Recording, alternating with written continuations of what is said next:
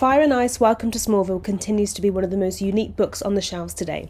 It's very reminiscent of Superman's pal Jimmy Olsen with all the craziness that is going on in this book. In this issue, Jimmy Olsen himself arrives to check out their latest stunt after being called by one of the nobodies to cover it for the Daily Planet. Though there is a lot of chaos at the salon, Fire and Ice come up with a plan to hide it from him and make it look more official. There are some great moments of humour peppered throughout this issue, though it still remains that this series so far is very light on the action, and though I'm enjoying the madness, I do struggle to find the purpose of the story sometimes. As I described it before, it does feel like a bit of a soap opera with all the scandals and goings on. The artwork is great. It's perfect for this kind of book and it works perfectly with these characters.